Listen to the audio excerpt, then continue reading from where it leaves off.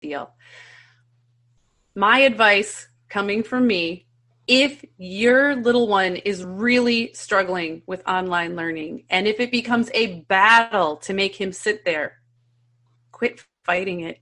It's first grade, it's second grade. You can read with your child, you can count things with your child, you can learn so many things. I am always going to revert to it's not worth fighting about, find another way. Yeah, yeah. And I'm reminded of our friend Joshua Wayne, who we've just uh, talked with him recently on the podcast, and and